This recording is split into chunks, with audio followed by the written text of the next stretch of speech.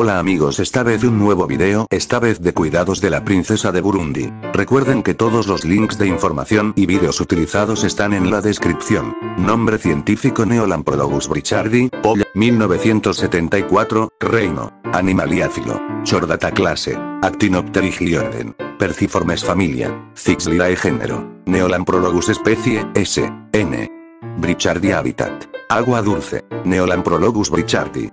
Especie de la familia Cixlidae de pequeño tamaño que proviene de las orillas rocosas del lago Tangánica. Distribución. Se lo encuentra alrededor de todo el lago, con diferentes variedades geográficas. Las diferentes variedades están interrumpidas por otras especies muy similares que entran en el denominado complejo Brichardi. Algunas de estas especies son N. pulcher, N. gracilis y N. splendens. Apariencia. Forma. Semicomprimida lateralmente, típica en la mayor parte de los cíclidos.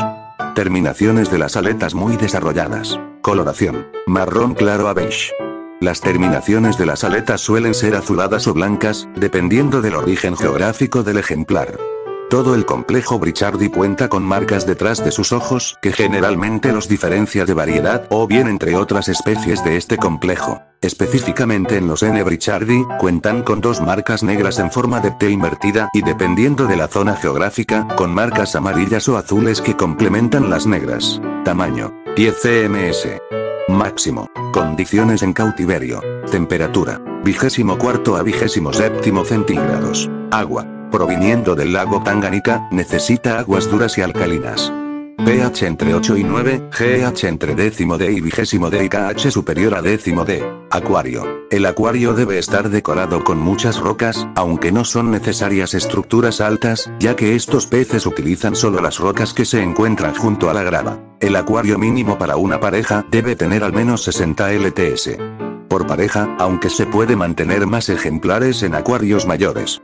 En este último caso se deben disponer varias cuevas, para que ellos elijan a medida que las parejas se vayan formando. Alimentación. En la naturaleza solo se alimentan de zooplancton, pero en cautiverio no tienen inconvenientes con alimentos vivos, congelados, comerciales. Comportamiento. A pesar de la elegancia que los caracteriza, no dejan de ser muy agresivos. Principalmente en la etapa en que están formando pareja. Una vez que la pareja o en su caso colonia está establecida, no hay mayores problemas, más que quitar a los juveniles más desarrollados para evitar superpoblación o bien, para que los propios padres no los expulsen cuando ya estén muy grandes. Reproducción. Fácil de reproducir. Forman cuevas que cavan a su antojo entre el sustrato y algunas rocas. La cantidad de huevos puede llegar a los 100 fácilmente y suelen adherirlos al techo o una pared de la cueva. La hembra permanece en la cueva, mientras que el macho se desinteresa bastante, aunque no deja de proteger el territorio ante cualquier peligro. Pueden comenzar en parejas, pero tarde o temprano se transforma en colonia, ya sea por sus propias crías o parejas vecinas. Todos se unen para proteger la prole, aunque por lo general el trabajo más pesado no lo tienen los padres, sino los juveniles más grandes de camadas anteriores. Diferencias sexuales. Bastante difícil de notar.